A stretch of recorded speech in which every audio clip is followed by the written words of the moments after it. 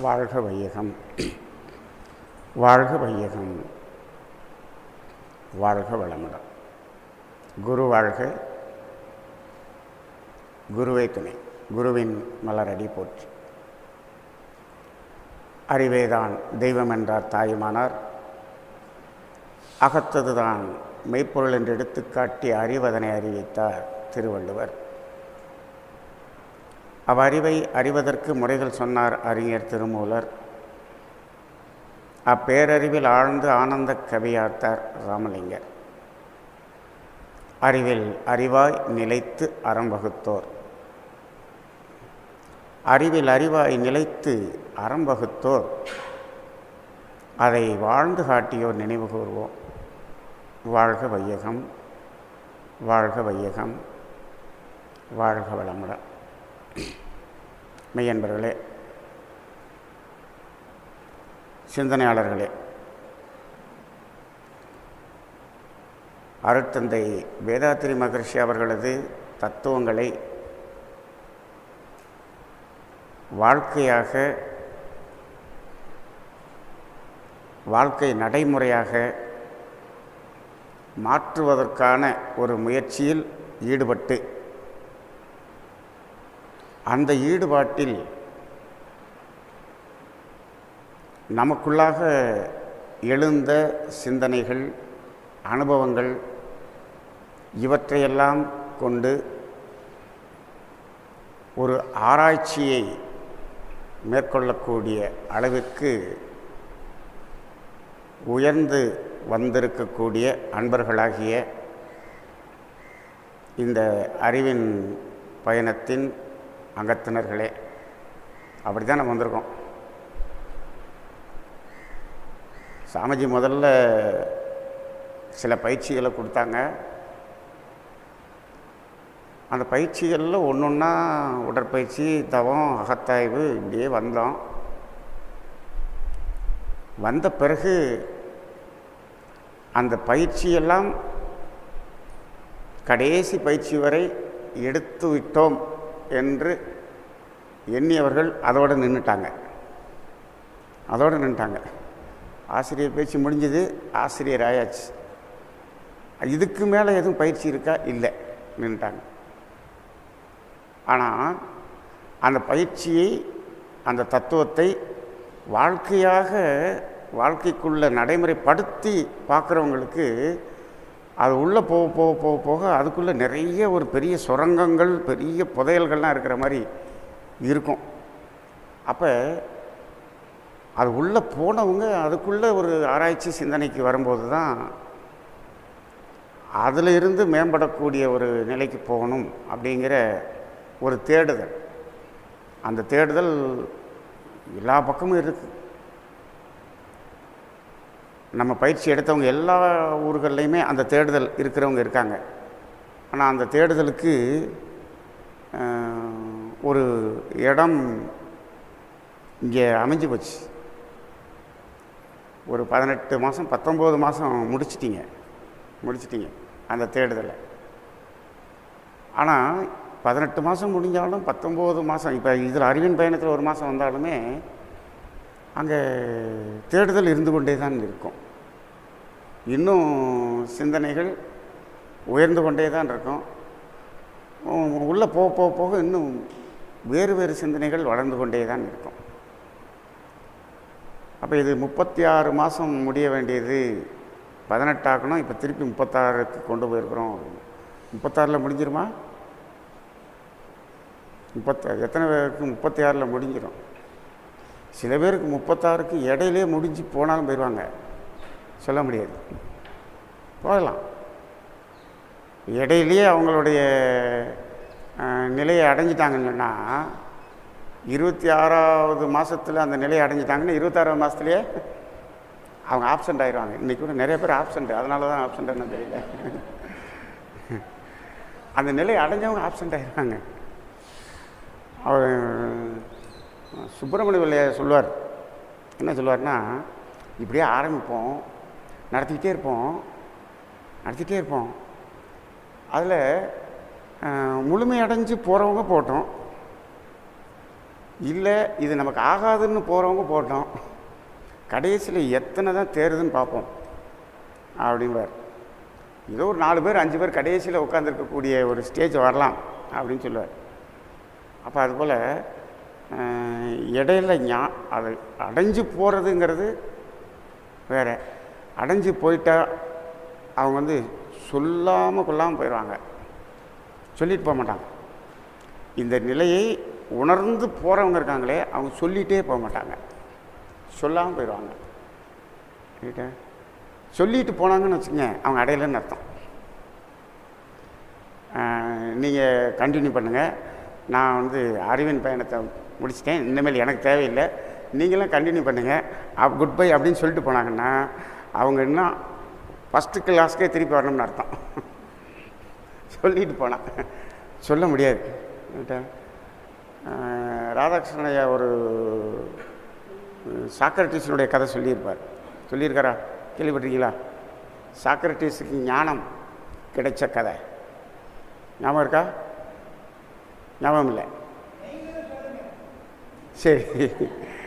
அதாவது சாக்ரட்டிஸுக்கு இப்போ நம்மெல்லாம் வேதாத்திரி மகரிஷியினுடைய சீடர்கள் மாதிரி சாக்ரட்டிஸுக்கு கொஞ்சம் சீடர்கள்லாம் இருந்தாங்க. அவரை குருவாக நினைத்து அவங்க கூடயே இருந்தாங்க. அப்போ அந்த ஊரில் ஒரு குறி சொல்லக்கூடிய ஒருத்தர் இருக்கிறார். அவர் குறி சொன்னார்னா கச்சிதமாக சொல்லுவார். கரெக்டாக இருக்கும். அவர் சொல்லிட்டாருன்னா அது சரியாக இருக்கும். அப்படிப்பட்ட ஒரு அந்த குறி. இவங்க சீடர்கள்லாம் போயிருக்கும்போது அந்த குறி சொல்கிறவர்கிட்ட போய் கேட்க போகிறாங்க கேட்க போகிறப்ப உங்களுடைய குரு சாக்ரட்டிஸ் உங்களுடைய குரு இருக்கிறாரு அவர் ஒரு பழுத்த ஞானி. அவர் ஞானம் அடைந்து விட்டார். அவர் ஞான நிலையை பெற்று விட்டார் அப்படின்னு அந்த குறி சொல்லிடுச்சான் உடனே இவங்க சீடர்களுக்கு எப்படி இருக்கும்? நம்ம குரு ஞானம் அடைஞ்சிட்டார் அப்போ ரொம்ப மகிழ்ச்சியாக இருக்கும் இல்லையா? ரொம்ப எல்லாருக்கும் மகிழ்ச்சியாகி போச்சு நம்ம குரு ஞானி ஆயிட்டார் ஞான நிலையை அடைந்து விட்டார். நம்ம எல்லாம் போய் அவரை பார்த்து அவர்கிட்ட ஆசீர்வாதம் வாங்கி அவர்கிட்ட இந்த விஷயத்தை சொல்லணும் அப்படின்னு சொல்லிட்டு குருவை தேடி போகிறாங்க குருவை தேடி போய் குரு வீட்டுக்கு போய் குருவே இது மாதிரி நீங்கள் ஞான நிலை அடைந்து விட்டீர்கள். அப்படின்னு இவங்க சொல்கிறாங்க எப்படி சொல்கிறீங்க அந்த குறி சொல்லுவாரே அவர்கிட்ட போனோம். அந்த குறிகிட்ட போய் கேட்டோம். அந்த குறி சொல்லிடுச்சு உங்கள் குரு ஞான நிலை அடைந்து விட்டார். ஞானி ஆயிட்டார். அப்படின்னு குறி சொல்லிடுச்சு அந்த குறி சொல்லிடுச்சுன்னா அதில் எந்த மாற்றமும் இல்லை. அதனால் நீங்கள் ஞான நிலை அடைந்து விட்டீர்கள். அப்படின்னு சொல்லி இதை நாங்கள் ரொம்ப மகிழ்ச்சியாக கொண்டாடுறோம் அப்படின்னு சொல்லி இவங்கெல்லாம் போய் சொல்லியிருக்காங்க. அப்போ சாக்ரட்டிஸ் என்ன சொன்னாராம்? எப்பயுமே அந்த குறி தப்பாக சொல்லாதே. ஆனால் இன்றைக்கி அந்த குறி தப்பாக சொல்லிப்பிடிச்சே. இது வரைக்கும் அந்த தப்பே நடக்கலை. இன்றைக்கி வந்து அந்த குறி சொன்னதில் தப்பாகி போச்சேன்னு சொன்னாராம். எப்படி சொல்கிறீங்க அப்படின்னு. நேற்று வரை நான் இந்த இயற்கை உணர்ந்து உணர்ந்து உணர்ந்து அந்த இயற்கையை உணர்ந்த ஞான நிலையில் இருக்கிறேன் ஞான நிலை அடைந்திருந்தேன் என்று நினைத்து கொண்டிருந்தேன் நேற்று வரை. நேற்று அந்த குறி சொல்லியிருந்துச்சுன்னு சொன்னால் அது நியாயம்.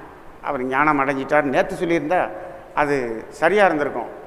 ஆனால் நேற்று இரவு தான் எனக்கு தெரிந்தது நான் இன்னும் ஞானம் அடையவில்லைன்னு எனக்கு நேற்று நைட்டு தான் தெரிஞ்சிச்சு. நேற்று வரைக்கும் நான் ஞானமாக இருந்தேன்னு நான் நினச்சிக்கிட்டு இருந்தேன். அப்போ அதனால் இன்றைக்கி வந்து அந்த குறி வந்து நான் ஞானம் அடைஞ்சிருக்கேன்னு சொன்னிச்சுன்னா அப்போ அந்த குறி தப்பாக சொல்லிடுச்சே அப்படின்னு சொல்லிட்டார். அப்போ அந்த குறி தப்பாக சொல்லிடுச்சு அப்போ அந்த குறியிட்டே போய் எப்படி இப்படி சொன்னேன் அப்படின்னு சொல்லி கேட்போம். அப்படின்னு இந்த சீடர்களெல்லாம் போய் என்னங்க நீங்கள் எப்பயுமே சரியாக சொல்கிறவங்க இன்றைக்கி மாற்றி சொல்லிட்டீங்களே. அவர்கிட்ட போய் கேட்டோம் அவர் இன்னும் நான் ஞானம் அடையவில்லை என்று சொல்கிறாரு நீங்கள் அவர் ஞானம் அடைஞ்சிட்டான்னு சொன்னீங்களே.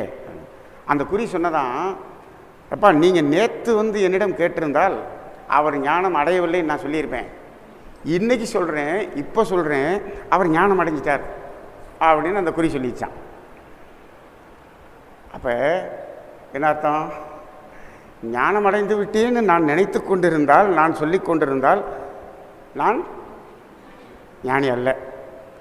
ரைட்டா அப்போ எனக்கு அறிவின் பயணம் முடிஞ்சிருச்சு. நீங்களாம் கண்ணி பண்ணுங்க நான் போயிட்டு வரேன்னு ஒருத்தர் சொல்லிட்டு போனார்னா அவர் ஞானியா அஞ்ஞானியா? ரைட்டா ஞானி அப்போ அவர் என்ன பண்ண மாட்டார்? அந்த நிலை அடைந்தவர் சொல்லிட்டு போக மாட்டார். சொல்லாமல் போயிட்டே இருப்பார். ரைட்டா அந்த நிலையில் இருக்கிறவர் அவர் பாட்டு போயிட்டே இருப்பார். அப்போ ஒன்று இது நமக்கு ஆகாது அப்படின்னு முடியாது அப்படின்னு நிற்கிறவங்க கொஞ்சம் முயற்சி பண்ணி பார்ப்போம் இழுத்து பார்ப்போங்கிறது இன்னொரு பக்கம். அப்போ அந்த வகையில் நம்ம அடுத்த ஸ்டேஜுக்கு போகணுன்னு போயிட்டே இருக்கிறோம். இப்போ அந்த இரண்டாவது கட்ட பயணத்தில் இது இரண்டாவது மாதமா? இரண்டாவது மாதம். போன மாதம் ஒன்பது மைய தவம் நடந்ததா? முழுக்க ஒன்பது மைய தவம் தான். ம்? சரி. வாழ்க வளமுடன். இப்போது நம்ம எத்தனையோ தவங்கள் பல தவமுறைகள் எல்லாமே பயிற்சியாக செய்து கொண்டிருக்கிறோம். செய்து கொண்டிருந்தாலும் இத்தனை தவங்களையும் தாண்டி இத்தனை தவ முறைகளையும் தாண்டி ஏதோ ஒரு முறை நம்மை நமது மனதை ஒரு மோன நிலைக்கு ஒரு எம்டினஸ்க்கு கொண்டு போச்சுன்னா அந்த டெக்னிக் தான் இப்போ நமக்கு வேணும். இனிமேல் நமக்கு வேணும். இதுவரை இருந்த அந்த பயிற்சி முறைகள் எல்லாமே இந்த உலக இயல் வாழ்க்கையோடு வாழ்ந்து கொண்டிருப்பதற்கான பயிற்சி முறைகள். இத்தனை தவம் சாமிஜி பிரித்து பிரித்து பிரித்து கொடுத்தது எல்லாமே இத்தனை தவமும் அப்படியே அத்தனை தவமும் நம்ம வச்சுருக்கணுமான்னு கேட்டால் அத்தனை தவமும் வச்சுக்கிட்டதே இருந்தோம் அப்படின்னு சொன்னோம்னா நம்ம இன்னும் இம்ப்ரூவ் ஆகலைன்னு அர்த்தம். இத்தனை தவத்தையும் டைம் டேபிள் போட்டு செய்கிறதுன்னு வச்சுருக்கோம் இல்லையா? அந்த டைம் டேபிள் போட்டு அத்தனை தவமும் செஞ்சுக்கிட்டு இருந்தோம்னா நம்ம இன்னும் இம்ப்ரூவ்மெண்ட்டுக்கு வரலன்னு அர்த்தம். அவ்வளவு தவம் தேவையே இல்லை. தேவையே இல்லை. அதெல்லாம் வந்து ஒரு பேசிக்கிலேருந்து வர்றதுக்கான ஒரு தவமுறைகள் தான். அது பாருங்கள் ஒவ்வொன்றும் பாருங்கள் சாமிஜி ஒவ்வொன்றையும் பிரித்து பிரித்து பிரித்து கொடுத்தது எல்லாமே இந்த உலக இயலில் சிக்கி இருக்கிறதுலேருந்து வெளியே வர்றதுக்கு வெளியே வர்றதுக்கு ஒரு டூல் அப்படி தான் அது மாதிரி ஒவ்வொரு முறையும் பிரித்து வச்சுருந்தாங்க. ஆனால் நம்ம அடைய வேண்டியது என்ன அப்படின்னு சொன்னோம்னா அந்த எம்டினஸ் தான். அப்போ இப்போ இன்னும் அடுத்த நிலையில் நம்ம போக போக போக என்ன வரணும்னா இந்த அந்த அந்த வழி வழிகள் வழிகளை விட அந்த அடையக்கூடிய இலக்கு அதுதான் நமக்கு வேண்டும் இப்போ நம்ம வாழ்க்கை முறையில் நிறைய சடங்கு முறைகளை பார்த்துருக்குறோம். இந்த சடங்கு முறைகள் எல்லாமே சடங்கு சடங்குக்காகவா? சடங்கு ஏதாவது ஒரு கருத்தை கொண்டு அந்த கருத்துக்காக சடங்கா? கருத்துக்காக சடங்கா? இந்த சடங்குக்காக சடங்கா? ஆனால் இன்றைக்கி நடைமுறை எப்படி இருக்குது சடங்குக்காக சடங்கு. அப்படி தான் இருக்குது கருத்தே இல்லாத சடங்குக்காக சடங்கு அப்படின்னு ஆயிடுச்சு அப்போ அந்த சடங்கு முறைகள் இந்த கருத்துக்காக.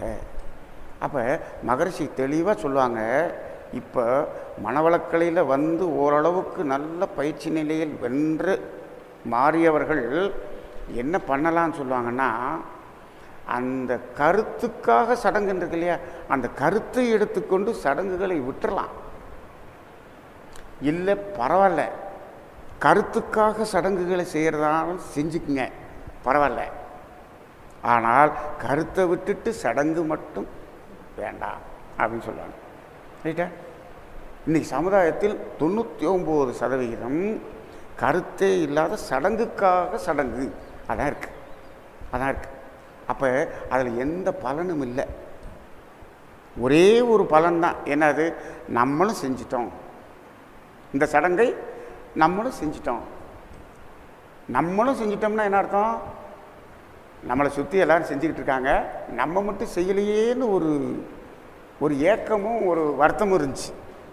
ரைட்டா நம்ம வீட்டை சுற்றி எல்லோரும் நம்ம எல்லோரும் என்ன பண்ணிட்டாங்க? ஓமம் பண்ணிட்டாங்க. அந்த யாகம் பண்ணாங்க. ஓ எல்லாரும் பண்ணிட்டாங்க. நம்ம மட்டும் பண்ணலையேன்னு மனசுக்குள்ளே என்ன இருந்துச்சு? ஒரு ஏதோ ஒரு வருத்தமும் ஒரு ஏக்கமும் இருந்துச்சு. நம்ம செஞ்சிட்டோம் இல்லையா? ஆ நம்மளும் செஞ்சிட்டோம். கிட்ட? அப்போ என்னாச்சு? நம்மளும் செஞ்சிட்டோங்கிறதுனால அவங்கெல்லாம் செஞ்சு நம்ம செய்யலையேங்கிற அந்த ஏக்கம் தீர்ந்துச்சே தவிர அதுக்குரிய பலன் ஒன்றுமே இல்லை. இதுதான் பலன். நம்மளும் செஞ்சிட்டோம்னு ஒரு திருப்தி. அதுதான் பலன். ரைட்டா? ஒரு ஆறுதல். ஆனால் எந்த மாறுதலும் கிடையாது. மாறுதல்ங்கிறது எப்போ வரும்? அந்த கருத்துக்காக செய்து அந்த கருத்து மாற்றம் ஏற்படும் போது தான் மாறுதல். அப்போ அந்த கருத்துங்கிறது ஒன்று சடங்குங்கிறது. அப்போ சாமிஜி எப்படி ஒரு ஒரு இது கொடுக்குறாங்க? சாமிஜி ஏன் இது மாதிரி கொடுத்தாங்க தெரியுங்களா? கருத்தை வச்சுக்க சடங்கை விட்டு இப்படின்னு ஒரே புடியில் சொல்லியிருந்தாருன்னு வச்சுக்கோங்க. நம்மளால் சாமிஜியே விட்டுருப்பான். இந்த இயக்கத்தையே விட்டுருப்பான். ரைட்டா? ஏன்? முடியாது. அப்படி மனம் என்ன பண்ணும்? எல்லாரும் இதெல்லாம் நீ செய்யலையா? அப்படின்னு கேட்கும்போது என்னாகும்?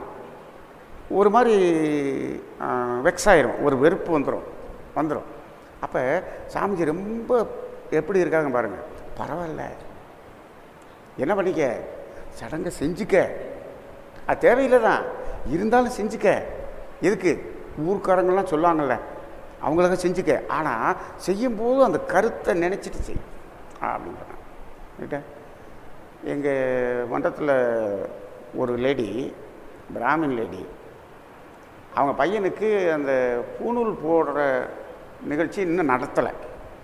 சின்ன பையனாக இருந்தால் இன்னும் நடத்தலை. அதுங்களும் இந்த மாதிரி பிரம்மஞானமெல்லாம் முடித்து ஆசிரியர் பேச்செல்லாம் முடிச்சிட்டாங்க. காந்த தத்துவம் எல்லாம் தெரிஞ்சுட்டு வந்துட்டாங்க. இவங்க இந்த நிகழ்ச்சி செய்யணும். எப்போ செய்ய போகிறீங்க எப்போ செய்ய போகிறீங்கன்னு அவங்க சொந்தக்காரங்கள்லாம் கேட்டுக்கிட்டே இருக்காங்க. அது அவங்க இதில் வந்து கண்டிப்பாக செய்ய வேண்டிய ஒரு விஷயம். அப்போ இவங்க மனசுக்குள்ளே என்ன ஒரு இதுன்னா இந்த நிகழ்ச்சி செய்யணுமா? அப்படின்னு உள்ளுக்குள்ளே ஒரு கேள்வி. அந்த பூணூல் போடுற வைபவம் வைக்கணுமா? இந்த பூணூல் போடணுமா? இப்படின்னு உள்ளுக்குள்ளே ஒரு குழப்பம். ரைட்டா ஆனால் லேட் பண்ணிக்கிட்டே இருக்காங்க. பட்டு சொந்த பந்தமெல்லாம் இன்னும் செய்யலையே செய்யலையேன்னு ஒரு ஃபோர்ஸ் இருந்துக்கிட்டே இருக்குது இந்த குழப்பத்தில் இருக்கும்போது சாமிஜி நேராக பார்க்கக்கூடிய ஒரு வாய்ப்பு அவங்களுக்கு கிடச்சிச்சு ஆலியாரில் கிடைக்கும்போது இவங்க என்ன பண்ணிட்டாங்க சாமிஜிகிட்ட கேள்வி பதிலில் நேராக கேள்வி கேட்குறதுக்கு எதிர்த்து நிற்கும்போது இவங்க இந்த கேள்வியை கேட்டாங்க. இப்போ இது மாதிரி செய்கிறது வழக்கம். இப்போ என் மனசுக்கு இது செய்ய வேண்டாம்னு தோணுது. செய்யக்கூடாதுன்னு தோணுது. செய்ய முடியாதுன்னு தோணுது. இதை நான் வந்து உறவினர்களுக்காகவும் இவங்களுக்காகத்தான் செய்யணும் அப்படிங்கிற மாதிரி இருக்குது ஆனால் என் மனசுக்கு வந்து அது வேண்டவே வேண்டாம்னு சொல்லுது. அது முடியாதுன்னு தோணுது. இப்போ நான் செய்யவா வேண்டாமா? செய்ய முட்டலாமா சாமி? அப்படின்னு கேட்டாங்க. சாமி என்ன சொல்லியிருப்பாருன்னு நினைக்கிறீங்க? பரவாயில்ல. நீ தாம்மா பிரம்மஞானி. நீ தான் உண்மையான மனவளக்கலை. இவ்வளோ தைரியமாக இருக்கே வா அப்படின்னு பாராட்டியிருப்பாரா? என்ன சொல்லியிருப்பார்? அப்போ சாமி அதுக்கு ஆ- ஆதரவு ஆதரவு சொல்லலை. சொல்லலை. என்ன சொன்னாங்கன்னா சரி உன் மனசு வேண்டான்னு சொல்லுதே. உன் மனசு இது வந்து இது மாதிரி போடுறதுங்கிறது உடன்பாடு இல்லைன்னு சொல்லுதே. ஏன்னு சொல்லுது? அதில் என்ன கருத்து? அப்படின்னு சாமி கேட்டாங்க. அப்போ இவங்க சொல்கிறாங்க சாமி அந்த அந்த அந்த பூணூல் போடும்போது சில மந்திரங்கள்லாம் சொல்ல வேண்டியிருக்கு. அந்த மந்திரத்தினுடைய பொருள் நான் தெரிஞ்சுக்கிட்டேன். அந்த பொருள் தெரிஞ்ச பிறகு அது மாதிரி வாழ்கிறது சாத்தியமில்லைன்னு எனக்கு தோணுது. அப்படின்னு சொன்னாங்க. அப்போ என்ன தெரிஞ்சுக்கிட்டேன்னு சொல்லுமா? நானும் கேட்டுக்கிறேன் அப்படின்னு சொல்லி சாமி கேட்குறாங்க அப்போ சொல்கிறாங்க அந்த அந்த பூணூல் போடுற வைபவத்தில் அவங்க சமஸ்கிருதத்தில் சொல்ல சொல்ல இவர் சொல்லணும். என்ன சொல்லணுமா? அதாவது இன்னையிலிருந்து நான் வாழ்க்கை முழுவதும் அந்த இறை உணர்வும் இறை சிந்தனையும் என்ற அடிப்படையில் மட்டுமே வாழ்வேன். அதற்காக மட்டுமே செயல் செய்வேன். ரைட்டா? அதே போல் அந்த செயலில் ஈடுபடும்போது எனது தேவைக்கான பொருள்களை அன்றாடம் தேவைக்கு அன்றாடம் பெற்றுக்கொள்வேன். அதை என்ன பண்ண மாட்டேன்? எதிர்காலத்துக்கு என்று பொருள்களை தேடி வைக்க மாட்டேன். நாளைக்கு தேவைக்கு கூட இன்றைக்கி நான் பொருளை தேட மாட்டேன். அந்த இறை சிந்தனையிலே இருப்பேன். அப்போ அங்கே என்ன சொல்ல வர்றதுன்னா இன்னைக்கு தேவைக்கு பொருள் அது கிடைச்ச உடனே இறை சிந்தனை இறை சங்கல்பம் இறை தொண்டு இதிலேயே இருப்பேன். இப்படியே நான் வாழ்க்கையை நடத்துவேன் அப்படின்னு மூணு தடவை சொல்லி அந்த பொண்ணுல மாட்டணுமா? இது- இது வந்து அதில் சடங்கு. இப்போ இவங்க என்ன கேட்குறாங்க இப்போ இது மாதிரி என் பையன் வாழணும் அப்படின்னு நான் விரும்பலை. என் பையன் படித்து என்ஜினியர் ஆகி வேலைக்கு போய் வீடு கட்டி அதெல்லாம் பண்ணணும் அப்படின்னு தான் நான் படிக்க வச்சுக்கிட்டு இருக்கேன். அப்போ நான் இங்கே சொல்கிறது ஒன்று செய்கிறது ஒன்றா இருக்கே. அப்போ எனக்கு செய்கிறதுக்கு இதை சொல் இப்படி சொல்லிட்டு அதை போடுறதுக்கு கூச்சமாக இருக்குது அப்படின்னு அவங்க சொன்னாங்க ஆனால் இப்போ அது நடந்துக்கிட்டே இருக்குது அது மட்டும் இல்லை அன்னைக்கு சொல்கிறது மட்டும் இல்லை அன்னைக்கு போடுற அன்னைக்கு அதை சொல்லிவிட்டு இது அடியோடு விட்டு போயிடக்கூடாது. அப்பப்போ என்ன பண்ணணும் அது? திருப்பி ஞாபகம் பண்ணணும் இல்லையா? அதுக்காக எவ்வரி இயர் அதை ரெனியூவல் வேறு பண்ணணும். என்னைக்கு? ஆவணி அவிட்டத்தன்னைக்கு அதை ரெனியூவல் வேறு பண்ணணும். ரைட்டுங்களா அப்போ அன்றைக்கி அந்த அந்த திருப்பி போய் அதை திருப்பி அதே மந்திரத்தை சொல்லிவிட்டு திருப்பி ரெனிவல் பண்ணணும். ரைட்டுங்களா இப்போ உலகம் முழுவதும் இந்த ரெனியூவலும் நடந்துக்கிட்டே இருக்குது. ஆனால் நடக்க வேண்டியது நடக்கலை. ரைட்டா பத்து வீடு கட்டி அவர் வாடகை விட்டுருப்பார். ஷேர் மார்க்கெட்டில் பல ஷேர் வாங்கி வியாபாரம் பண்ணிக்கிட்டு இருப்பார். எல்லாம் நடந்துக்கிட்டு இருக்கோம். பத்து பிளாட் வாங்கி போட்டிருப்பார். இங்கே ரெடியல் பண்ணிகிட்டு இருப்பார். இப்போ இவங்க என்ன கேட்குறாங்கன்னா இப்போ இதை சொல்லிவிட்டு இதை போடுறதுக்கு இந்த இதை செய்யணுமா? நான் அப்படின்னு கேட்குறாங்க அப்போ சாமி சொல்கிறாரு இப்போ நீ என்னம்மா நினைக்கிற? அது மாதிரி வாழ முடியாதுல்ல? எப்படி வாழணும்னு நினைக்கிற? ரொம்பவும் அப்படி பொருள் நிலையில் வாழணும்னு இல்லை சாமி. அதே சமயத்தில் இப்படித்தான் இப்படி இருக்கவும் இல்லை. ஓரளவுக்கு பொருளோட அப்படி வாழணும் அப்படின்னு நினைக்கிறேன். உன் பையன் அப்படி வாழணும்னு நினைக்கிறேன். அப்போ சாமி சொல்கிறாரு இப்போ நீ இதை செய்யாமல் இருந்தேன்னு வச்சுக்க உன் சமுதாயம் முழுவதும் உன்னை ஒதுக்கி ஓரம் கட்டிடும் நீ இந்த சமுதாயத்தில் வாழவே முடியாது. நீ என்ன பண்ணுற இந்த சடங்கு இந்த வைபவத்தை அரேஞ்ச் பண்ணிடு செஞ்சிரு. அவர் ஒரு மந்திரம் சொல்லுவார் இல்லையா? அவர் மந்திரம் சொல்லிட்டு இருக்கும்போது நீ என்ன பண்ணு? உன் மனசுக்குள்ள நீ இந்த அளவுலையாவது வாழணும்னு நினைக்கிறீல்ல இதை சொல்லு. நான் ரொம்ப கொடி கோடியாக சேர்த்து எல்லாத்தையும் பதுக்க மாட்டேன். ஓரளவுக்கு என் தேவைக்கு வீடு கட்டிக்கேன் என் தேவைக்கு வேலைக்கு போய் ஓரளவுக்கு இந்த ஒரு மி- ஒரு ஒரு ஒரு ஒரு வாழ்க்கை. இந்த அளவுக்கு நான் வாழ்வேங்கிறத நீ மனசில் சொல்லு. அவர் எதையோ சொல்லிட்டு போகிறாரு நீ இதை சொல்லிட்டு அதை போட்டு விட்டுரு. அப்படின்னு சாமி சொல்லிட்டார். அப்போ அங்கே என்ன வேணும்? சடங்கு சடங்காக நடக்கட்டும். அந்த கருத்தில் இப்போ உன்னால் இதான முடியும். இதை நீ சொல்லு. ரைட்டா? அப்போ அது அது ஒன்றுமே செய்ய மாட்டேன்னு சொல்லிட்டு அத்தனையும் செய்கிறத விட நம்மளால் எது முடியுமோ அதை சொல்லிட்டு அந்த சடங்கை செஞ்சுக்கிறது தப்பு இல்லைம்மா அப்படின்னு சாமி சொல்லிட்டார். ரைட்டா அப்போ அந்த இடத்துல இந்த சடங்குகளை விட்டுருங்கன்னு சொல்லலை. இன்னைக்கு சமுதாயத்தில் விட முடியாது. அது விடுறதுக்கு ஒரு காலம் வரும். அப்போ விட்டுக்கலாம். ஆனால் அதுவரை நம்ம என்ன பண்ண வேண்டியிருக்கு? இந்த கருத்துக்காக அந்த சடங்கு. கருத்து மறந்துடாமல் அந்த சடங்கு. ஒரு நல்ல தைரியம் வந்துருச்சு. நல்ல துணிவு வந்துருச்சு. சடங்கை விட்டுட்டு கருத்தில் மட்டும் நிற்கக்கூடிய அளவுக்கு வந்துருச்சு. அப்படின்னு சொன்னால் நின்றலாம். எப்போ? எப்போனா அந்த பயம் கூட நம்ம மனசுலேருந்து போகணும். அது வரணும் அப்படின்னு சொன்னோம். எப்போ விடுவோம் அப்படின்னு சொன்னோம்னா எப்போ இறை உணர்வுக்குள்ளே நம்ம அந்த இணைப்பு கிடைச்சிருச்சோ அப்போ விட்டுருவோம். அப்போ விட்டுருவோம்.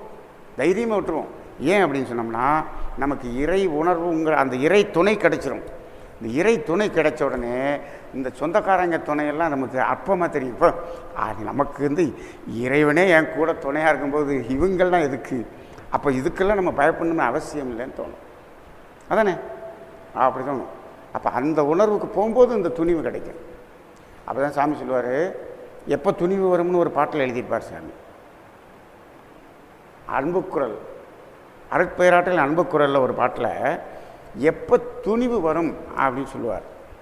அப்படின்னா தெளிவு வந்த பின் துணிவு வேண்டும் அப்படின்னு சொல்லுவார். ரைட்டா அப்போ எது தெளிவு? அந்த இறை உணர்வு பெற்ற அந்த தெளிவு வரும்போது அந்த துணிவு வரும். அது வரைக்கும் துணிவு வராது. வராது. அப்போ அது வரைக்கும் நம்ம இதையும் வச்சுக்கிட்டுக்கணும் இப்போ இதே போல் தான் இந்த தவங்கள். இப்போ தவங்கள்லையும் பஞ்சேந்திரிய தவம் பஞ்சபூத தவம் ஒன்பது மைய தவம் துரியாதீத தவம் இது மாதிரி நிறைய. இப்போ ஒவ்வொரு தவமாக வந்தோம் சாந்தி தவம். அப்போ இத்தனை தவங்கள் இருந்தது. இத்தனை தவங்கள் வேணுமா அண்ணவேலு அப்படியே இருந்துக்கிட்டே இருக்கணுமா? அப்படின்னு சொன்னால் இத்தனை தவமும் எதுக்கு அப்படின்னு கடைசியில் பாருங்கள் சாமிஜி அந்த பயிற்சியில் கடைசியாக கொடுத்த தவம் என்ன?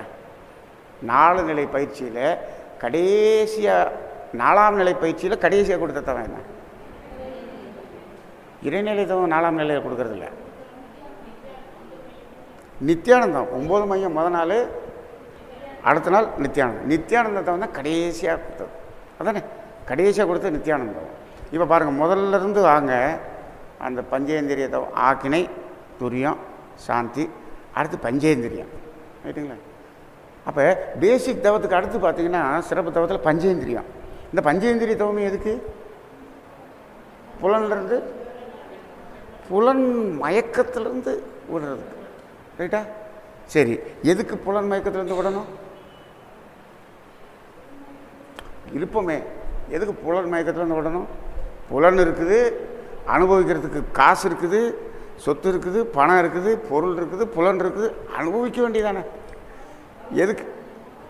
ஏன் அளவு முறையோட இருக்குன்னா அது அளவுக்கு அதிகமாக எங்கள் வருமானம் வீட்டுக்காரர் ஏகப்பட்ட சம்பாத்தனை சம்பாதிச்சுக்கிட்டு இருக்காரு. ஆ?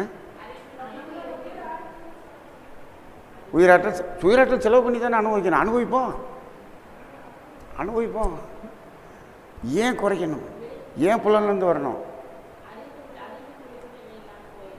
எல்லாமே அப்படியே உள்ளே போய் போய் ஏன் ஏன் ஏன் இதுலேருந்து வரணும் அப்படின்னு கேட்டு கடைசியில் போய் பார்த்தீங்கன்னா எதுக்கு அப்படின்னு சொன்னோம்னா சும்மா இருக்கிறதுக்கு.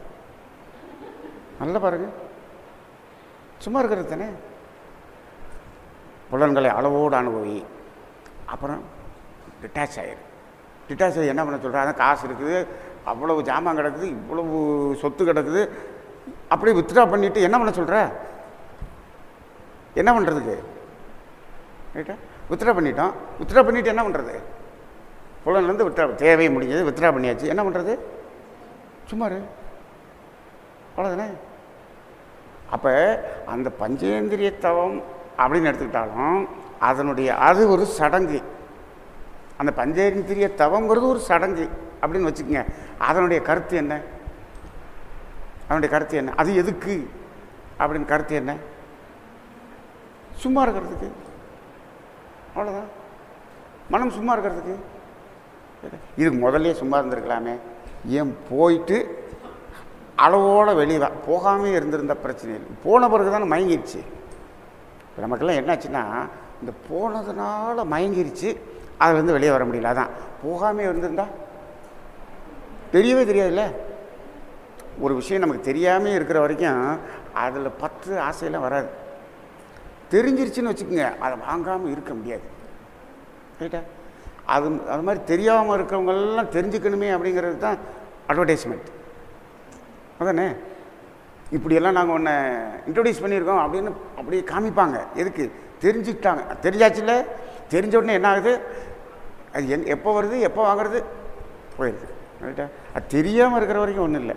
தெரிஞ்சிட்டா ஒரு மயக்கம். அப்போ மயக்கத்தை ஏற்படுத்துறது தான் இன்றைக்கி மயக்கத்தை கிரியேட் பண்ணுறது அப்போ இப்போ போனோம் போயிட்டு வித்ரா பண்ணி வெளியே வரணும். வெளியே அப்போ சும்மா இருந்த மனசு இதில் உள்ள போது போயிட்டு திரும்பி வரணும். அப்படி பார்க்கும்போது தான் ஏன் போகுது? ஏன் திரும்பி வரணும்? அப்படின்னு பார்த்தா இந்த இந்த புலன் வழியாக போகிறதுக்கும் ஒரு பர்பஸ் உண்டு. ஒரு பர்பஸ் உண்டு. ரைட்டா அப்போ அந்த இடத்துல பார்த்தோம் அப்படின்னு சொன்னோம்னா அந்த பர்பஸ் அடிப்படையில் போயிட்டு அதுலேருந்து வித்ட்ரா பண்ணணும். இதுதான் இப்போ நம்ம மனித மனித இனத்தினுடைய அதுலேருந்து வித்ட்ரா பண்ணணும். அப்போ அதில் வித்ட்ரா பண்ண முடியாமல் மயக்கத்தில் இருக்கிறதுக்காகத்தான் தவம். வித்ட்ரா பண்ணுறதுக்கு தான் தவம். அப்போ வித்ட்ரா பண்ணிட்டோம்னா அப்போ அதனுடைய உள்ளே போ போய் என்ன நோக்கம்னா அங்கே சும்மா இருக்கிறது தான் போய் நிற்கும் அப்போ பஞ்சேந்திரிய தவமும் சும்மா இருக்கிறது தான். ரைட்டா துரியாதீத தவமும் சும்மா இருக்கிறதுக்கு தான். ஒம்பது மயத்தவமும் சும்மா இருக்கிறதுக்கு தான். எல்லாமே கடைசியில் பார்த்தோம்னா நெட்டபணம் சும்மா இருக்கிறது தான். அப்படி தான் போகும். ரைட்டா அப்போ பாருங்கள் அப்படியே கொண்டு வந்து கொண்டு வந்து. கடைசி நித்தியானந்த தவங்கிறது பாருங்க. நித்தியானந்த தவத்தில் கடைசியில் என்ன ஆகுது? அப்படியே நம்ம ஒன்றும் இல்லாமல் நிற்கிறது தான் நித்தியானந்தம் ஆனந்தம்ங்கிறது என்னன்னு சொல்லியிருக்கோம் போன தடவை நித்தியானந்தத்துக்கு நம்ம விளக்கம் பார்த்தோம். ஆனந்தம்ங்கிறது என்ன? அந்த அந்த தன் அதாவது தன்னிலை மறந்தா தன்னிலை உணர்ந்தா. ஆ? இது எப்படி வேணாலும் சொல்லலாம். தன்னிலை உணர்ந்துன்னு சொல்கிறதா தன்னிலை மறந்துன்னு சொல்கிறதா தன்னிலை உணர்றதுங்கிறது அதுதான். ரைட்டா? இப்போ இருக்கக்கூடிய நிலை மறந்து அந்த தன்னிலை உணர் தன்னிலை உணர்ந்துங்கிறது தான் சரியாக வரும். சரியா? தன்னை தன்னை மறந்து தன்னிலை உணர்ந்து. தன்னை மறந்து தன்னிலை உணர் அப்போ அப்போ அங்கே போகும்போது சும்மா இருக்கும் அவ்வளோ அந்த ஸ்டேஜுக்கு தான் அங்கேயும் கொண்டு போகும். அப்போ பார்த்தோம்னா இது எல்லாமே ஒவ்வொரு தவமுமே இது இதை நோக்கி போகிறதுக்கு ஒரு டெக்னிக்ஸ் ஒரு சடங்குகள் சடங்கு மாதிரி தான் இருந்துச்சு. அப்போ இப்போ நம்ம இந்த அடுத்த ஸ்டேஜுக்கு போக போக நம்ம இதெல்லாம் வேணுமா அப்படின்னு கேட்டால் அது அது இல்லாமையே நம்ம எதுக்கு போகணும்? அங்கே போகணும். அப்போ இப்போ என்ன வரணும்னா ஒவ்வொரு ஒரு படிப்படியாக ஒவ்வொரு இதுக்குள்ளே ஒவ்வொரு ஒரு முறைப்படி ஒவ்வொரு முறைக்குள்ளேயும் போய் போய் வெளியே வர்றது அப்படிங்கிறதெல்லாம் இல்லாமல் என்ன ஆகணும் சும்மா இருக்கணும்னு நினச்சா சும்மா இருக்கணும். அந்த ஸ்டேஜுக்கு போயிடணும். அப்போ இனிமேல் அந்த கடைசி அந்த தவத்தினுடைய எண்டு இருக்கு இல்லையா? அந்த எண்டில் எப்போ வேணாலும் போக முடியும் அப்படிங்கிற ஸ்டேஜுக்கு வந்தோம்னா அப்போ தான் நம்ம இந்த பயணத்தில் வெற்றி பெற முடியும். அதுக்கு என்ன பண்ணுறது அப்படிங்கிறத நம்ம இப்போ பார்க்கணும். இனிமேல் பார்க்கணும். ரைட்டா? அப்போ இனிமேல் இந்த டைம் டேபிள் போட்டு தவங்கலாம் விட்டலாமா விட்டலாமா வேண்டாம்ல? வேணுமா? வேணும்னா இன்னும் நம்ம முடியலன்னு அர்த்தம். முடியலன்னு அர்த்தம். ரைட்டா? சரி. இப்போ பாருங்கள் நம்ம ஆரம்பத்தில் அது இந்த முதல் கிளாஸுக்கு வரும்போதே சொல்லியிருக்கோம். என்ன சொல்லியிருக்கோம்னா இந்த பர்ஃபெக்ஷன் அப்படிங்கிறது பெறுதலா விடுதலா அப்படின்னு சொல்லி முதல் நாள் பார்த்தோம். இந்த இறை உணர்வு என்பது பெறுவதா விடுவதா? பெறுதல் விடுதல். இந்த ரெண்டில் இப்போ பெறுதலா விடுதலா அப்படின்னு பார்த்தோம். இந்த பெறுதல் அப்படிங்கிறது ஒரு ஸ்டேஜ் இருக்குது விடுதல்ங்கிறது ஒரு ஸ்டேஜ் இருக்குது இந்த பெறுதல்ங்கிறது எது வரைக்கும்? அப்படின்னு பார்த்தா இந்த பெறுதல் அப்படிங்கிறது ஐந்தறிவு ஜீவன் வரைக்கும் பார்த்தோம்னா இந்த பெறுதல். ஐந்தறிவு ஜீவன் வரைக்கும் பார்த்தா பெறுதல் அப்படிங்கிறது. அந்த ஆறாவது அறிவு மனிதன் என்று பார்க்கும்போது அங்கே முழுக்க விடுதல். பெறுதல் முழுவதும் ஐந்தறிவு வரைக்கும்.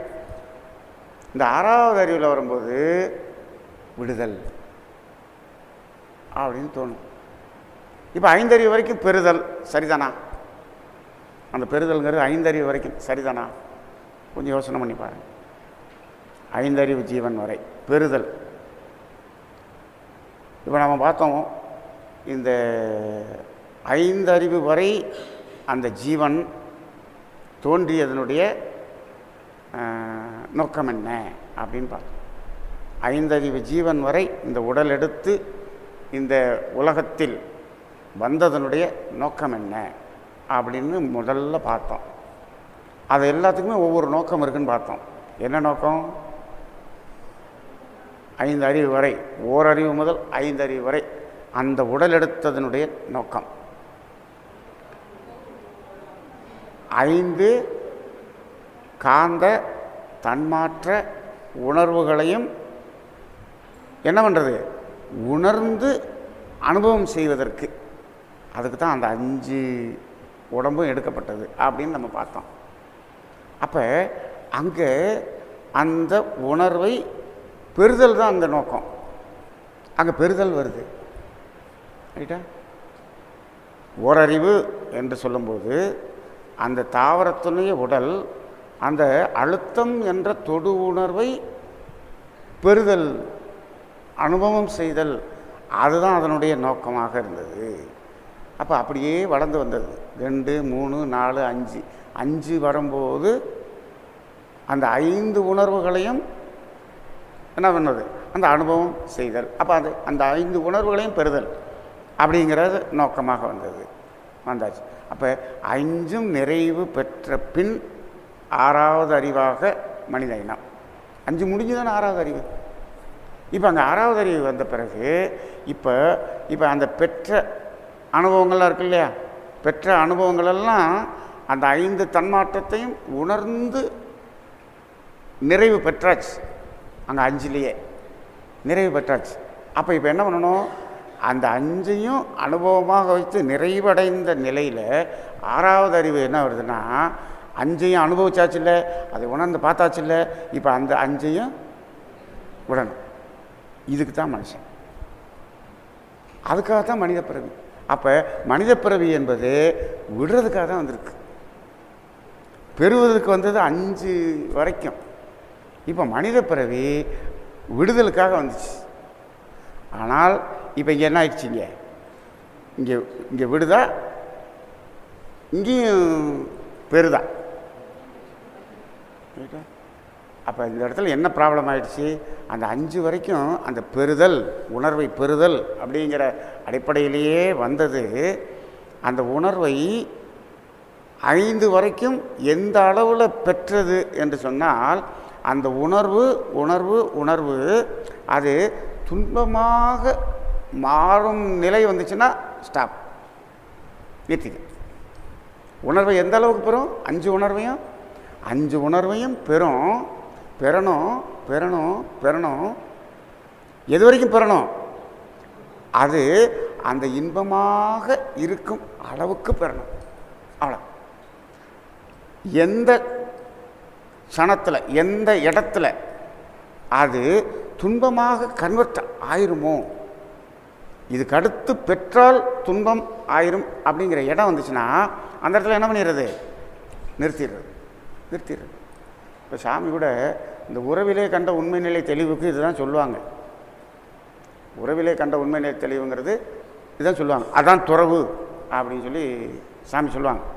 இப்போ சாமி சொன்ன அந்த துறவுங்கிற வார்த்தை கூட உயிர் ஜீவனுக்கா இல்லை ஆரோக்கியம் படைத்த மனிதனுக்கு மட்டுமா? உறவிலே கண்ட உண்மை நிலை தெளிவு துறவு துறவு வேண்டும். என்று சொல்கிறது மனிதனுக்கு மட்டுமா? எல்லா ஜீவனுக்கும் பொருந்துவான் எல்லா ஜீவனுக்கும்? எல்லா ஜீவனுக்கும் துறவுன்னு தனியாக சொல்ல வேண்டியதில்லை. தனியாக சொல்ல வேண்டியதே இல்லை. அது கரெக்டாக என்ன இருக்குது கரெக்டாக அந்த இடத்துல ஸ்டாப் பண்ணிடுது அதை நிறுத்திக்குது நிறுத்திக்குது. அப்போ அங்கே துறவு அப்படின்னு ஒரு வார்த்தை தேவைப்படலை. தேவைப்படலை. ரைட்டா? இப்போ இங்கே துறவுன்னு சொல்ல வேண்டியிருக்கு. ஏன் சொல்ல வேண்டியிருக்குன்னா அதையும் தாண்டி மீறி போகும்போது அந்த இடத்துல துறவு வேண்டும் அப்படின்னு சொல்ல வேண்டி வருது. அப்போ மனிதனுக்கு தான் அதுவும். சாமி சொன்னார் அந்த துறவுங்கிறது மனிதனுக்கு மட்டும்தான். மனிதனுக்கு மட்டும்தான். ஜீவனுக்குன்னு சொல்ல முடியாது. அப்போ அந்த இடத்துல அதை அப்படி நிறுத்திக்கிட்டு இப்போ அந்த அனுபவம் துன்பமாக மாறாத அளவுக்கு நிறுத்திச்சு நிறுத்திச்சு இப்போ மனிதன் எதுக்கு பிறந்தான்?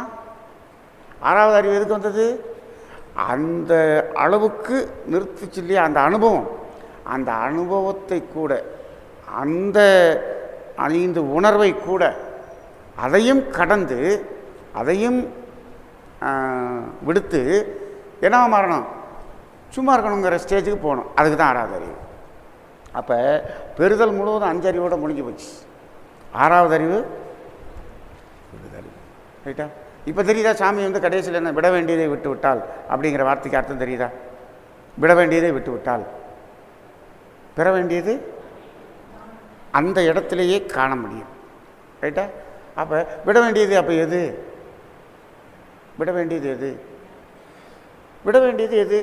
எதை பிடிச்சிக்கிட்டு இருக்கோமோ அதை தானே விட முடியும். ஏதாவது ஒன்று பிடிச்சிருந்தா தானே விட முடியும். என்கிட்ட ஒன்றுமே இல்லைங்க. விடுறதுக்கு ஒன்றுமே இல்லை.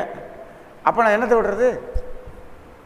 ரைட்டா விட வேண்டியதுன்னா ஏதாவது ஒன்று வச்சுருந்தா தான் விட முடியும்.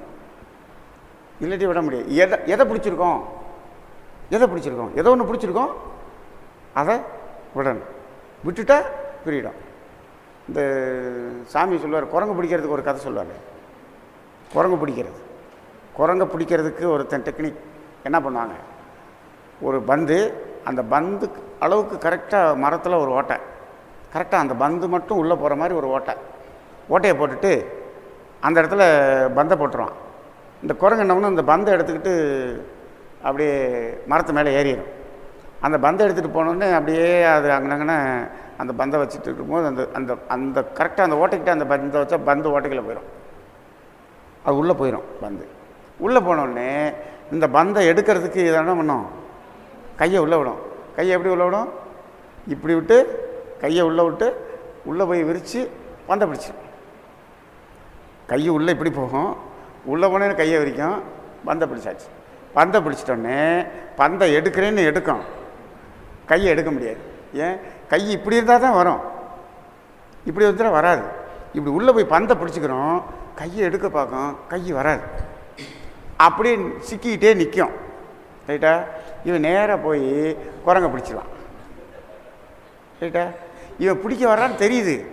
இவன் பிடிக்க வர்றான்னு தெரிஞ்சோடனே அந்த கையை எடுத்துகிட்டு ஓடணும்னு பந்தை பிடிச்சமே நிற்க கையை இழுத்து இழுத்து இழுத்து இழுத்து ஓடுறதுக்கு பார்க்கணும். ஆனால் கை வரவே வராது. வராது. இப்போ என்னாச்சு? எப்போ அந்த கையை எடுக்க முடியும்? அந்த பந்தை விட்டுட்டா எடுத்துடலாம். ஆனால் இந்த பந்தை விடலை. பந்தையும் பிடிச்சிக்கிட்டே எடுக்கணும்னு பார்க்குது கையை எடுக்க முடியல. இவன் வந்து குரங்கை பிடிச்சிட்டான். ரைட்டா இப்போ இப்போ நம்மளாம் எதை பிடிச்சிக்கிட்டு இருக்கோம்? அந்த குரங்கு ஒரே ஒரு பந்தை பிடிச்சிக்கிட்டு இருந்துச்சு. அதில் மாட்டிக்கிச்சு நம்ம ஏகப்பட்டதை பிடிச்சிக்கிட்டு பிடிச்சி பிடிச்சி பிடிச்சி வச்சுக்கிட்டு இருக்கிறோம். ரைட்டா எது மூலமாக பிடிச்சோம்? ஏகப்பட்டது பிடிச்ச முடியாது எது மூலமாக பிடிச்சோம்? ஒவ்வொன்றையும் பற்றிக்கிட்டு இருக்கோம். எதன் மூலமாக பற்றினோம்? இந்த புலன்கள் மூலமாக தான் பற்றணும் ரைட்டா நமக்கு நம்ம வினையே இது. இந்த அஞ்சு புலன் தான். அதானே? வினையாக வந்து வச்சாயா? அப்படின்னு சொல்கிறாங்கல்ல சில பேர் சொன்ன இவன் எனக்கு வினையாக வந்தான் அப்படின்னா இப்போ நமக்கு வினையாக அவன் வந்தான்னா நமக்கு வினையாக இருக்கிறது எது? இந்த புலன் அதான் புலன் மயக்கம் புலன் மயக்கம் புலன் மயக்கம் இப்படியே புலன் மயக்கத்தை தான் சொல்லியிருக்காங்க ரைட்டா அப்போ இந்த புலன் மூலமாக தான் பிடிச்சிக்கிட்டோம். பிடிச்சி வச்சுருக்குறோம். இப்போ என்ன பண்ணலாம்? அந்த பிடிச்சதை விட்டுட்டோம்னு வச்சுக்கோங்க. கையை எடுத்துகிட்டு நம்ம என்ன ஆயிடலாம்? எஸ்கேப் ஆகிடலாம் ஃப்ரீடம் ரைட்டா அதை விடாமல் அதையும் எடுத்துகிட்டு ஓடணும்னு பார்க்குறோம் அதானே? இப்போ கோயம்புத்தூரை காலி பண்ணிவிட்டு ஆந்திரா போயிடுறது. ஏதோ ஒரு ஊருக்கு போயிடுறதுன்னு வச்சுக்கோ. கோயம்புத்தூரை காலி பண்ணிட்டு அங்கே போயிடுறதுன்னுட்டான். என்ன பண்ணுறது இல்லை அப்படின்னா அங்கே போய் செட்டில் ரைட் பேசாம ட்ரெயின் ஏறி அப்படியே போட்ட சட்டையோட ட்ரெயின் ஏறி போக வேண்டியதானே? வீடெல்லாம் காலி பண்ணி ஒரு லாரியில் ஏற்றி அதை முன்னாடி அனுப்பிட்டு அப்புறம் பின்னாடியே நம்ம ட்ரெயினில் போகிறோம் அதானே? அதை கூட சில பேர் நம்புறதில்ல. வீட்டுக்கார ட்ரெயினில் ஏற்றிட்டு இவர் லாரியில் ஏறி போகிறாரு இவன் பாட்டுக்கு இந்த லாரி வேறு எங்கேயாவது ஏற்றிட்டு போயிட்டேன்னா ம்? நீ ட்ரெயினில் பிள்ளைகளோட வந்துரு. நான் எதுக்கும் பாதுகாப்பாக லாரியில் ஜாமானோட கூடயே வர்றேன். அப்படியே பிடிச்சிக்கிட்டே போய். ம்? எதையும் விட்டுட்டு போகிறதில்ல இருக்கிற விள தேஞ்ச விளக்கமாற கூட எடுத்து உள்ளே போட்டு லாரியில் ஏற்றி கொண்டு போயிடுவோம் அப்போ இந்த பிடிச்சி பிடிச்சி பிடிச்சிட்டு விட முடியல. அப்போ இப்போ நம்ம பிடிக்கிறதுக்காக வந்தோம். ஆறாவது அறிவு எதுக்கு வந்தது? விடுறதுக்காக வந்தது. ஏற்கனவே அனுபவம் செய்து ரசித்து பார்த்த அந்த அனுபவத்தை மறக்கிறதுக்கு தான் வந்துச்சு. ரைட்டா? இந்த அறிவு அந்த அஞ்சு காந்த தன்மத்தையும் உணர்ந்து பார்க்கணும் அப்படின்னு நினச்சிது. எப்போ? பஞ்சபூதங்களாக வந்து அஞ்சு காந்த தன்மாற்றமாக வரும்போது காந்த தன்மாற்றமாக வந்துட்டோம். இந்த அஞ்சையும் நம்ம அனுபவித்து பார்க்கணும்ல. அப்படின்னு அதுக்காக உடல் எடுத்தது. அனுபவிச்சு பார்க்கணும்ல. அடுத்தத்தை அனுபவிச்சாச்சா? அனுபவிச்சு அனுபவிச்சாச்சே. எல்லா செடி கொடிகளும் அழுத்தத்தை உணர்ந்தாச்சு.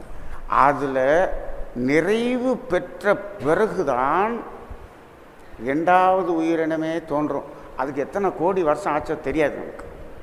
வெறும் தாவரம் மட்டும் இந்த பிரபஞ்சத்தில் எத்தனை வருஷம் இருந்திருக்கும்? தெரியாது. அதானே?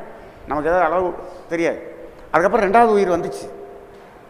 அப்போ ரெண்டாவது உயிர் வர்றதுக்கு வந்துருச்சு அப்படின்னு சொன்னால் அந்த முதல் உணர்வில் அது என்ன ஆயிடுச்சுன்னு அர்த்தம்? நிறைவு பெற்றுச்சுன்னு அர்த்தம். நிறைவு பெற்றுச்சு. எதுக்கு எ- எதுக்கு நிறைவு கிடைச்சது? எது நிறைவு பெற்றது?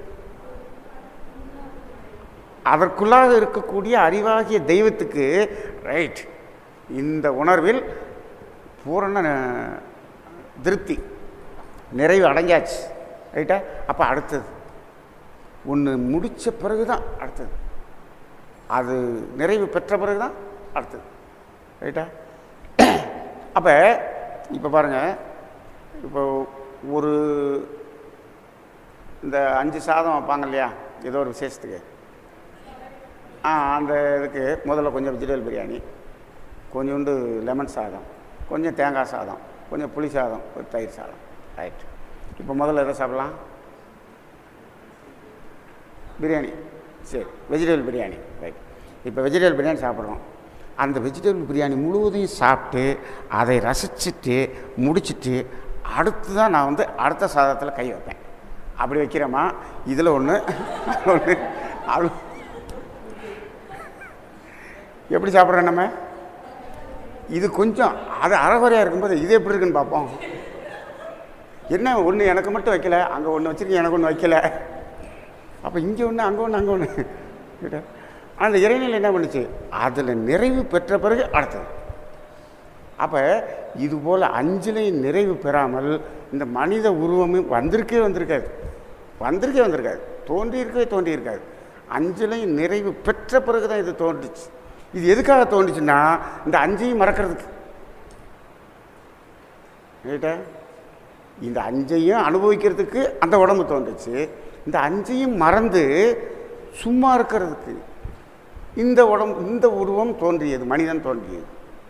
மனிதன் தோன்றியதனுடைய நோக்கமே அதுதான் இந்த அஞ்சையும் மறந்து அஞ்சையும் விட்டு முழுமை அடைதல் எது? சும்மா இருத்தல். அதுக்கு தான் தோணுது. அப்போ முழுக்க முழுக்க முழுக்க விடுறதுக்குன்னே பிறந்தவன் யார்? மனுஷன். ஆனால் அவன் தான் என்ன பண்ணிக்கிட்டு இருக்கான் இப்போ? அவன் தான் பிடிச்சிக்கிட்டே இருக்கான். பெருசு பெருசாக பிடிச்சிக்கிட்டு இருக்கான். ரைட்டா இந்த அஞ்சு வரைக்கும் பிடிச்சதாவது பரவாயில்ல. இதை விட பெருசாக பிடிச்சிக்கிட்டு இருக்கான். சரிங்களா அதுதான் மயக்கம் மயக்கம் மயக்கம் மாயை இப்படின்னு எல்லா ஞானிகளும் சொல்லிக்கிட்டு இருக்காங்க. இது ஒன்று தாங்க மாயை. எதை விடுவதற்காக வந்தோமோ அதையே என்ன பண்ணிட்டோம்? அளவு முறை மீறி பிடிச்சிருக்க பார்த்தீங்களா இது ஒன்று தான் மாயை.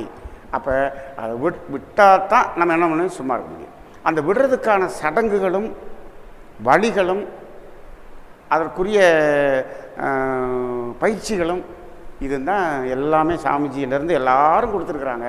எல்லாரும் கொடுத்தது வேறு வேறு வேறு வேறு சடங்குகளாக இருக்கும் வேறு வேறு பயிற்சிகளாக இருக்கும். கடைசியில் பார்த்தோம்னா ஒன்றே ஒன்றில் தான் போய் முடியும். என்ன முடியும்னா எல்லாத்தையும் விட்டுட்டு சும்மா இருக்கும் புத்தரும் சும்மா இருக்கிறதெல்லாம் முடிப்பார் ரமணரும் சும்மா இருக்கிறதெல்லாம் முடிப்பார் வேதாத்திரியும் சும்மா இருக்கிறதெல்லாம் முடிப்பார். யார் எடுத்துட்டாலும் கடைசியில் சும்மா இருக்கிறதெல்லாம் முடிப்பார். ஒவ்வொருத்தரும் கொடுத்த விதங்கள் அந்த பயிற்சி சடங்குகள் வித்தியாசமாக இருக்குமே தவிர சும்மா இருக்கணும் அவ்வளோதான் அப்போ இப்போ நம்மலாம் அடுத்த ஸ்டேஜ் அட்வான்ஸ் அறிவின் பயணம்னு வந்திருக்கிறோம். அப்போ இனிமேலாவது நம்ம என்ன பண்ணணும்? விடுறதுக்காக பயிற்சி அப்படிங்கிறத கொஞ்சம் தீவிரமாக எடுப்போம். ரைட்டா? இப்போ விடலாமா? பெறலாமா? டீ ரெடி இருக்குன்னு சொல்கிறாங்க இப்போ விடலாமா? பெறலாமா? விட்டுற என்னங்க விட்டுறலாமா ஆ? சரி. சின்ன பிரேக் அது என்ன பிரேக்குன்னு நான் சொல்லலை. சின்ன பிரேக் சரிங்களா? பழகலாம்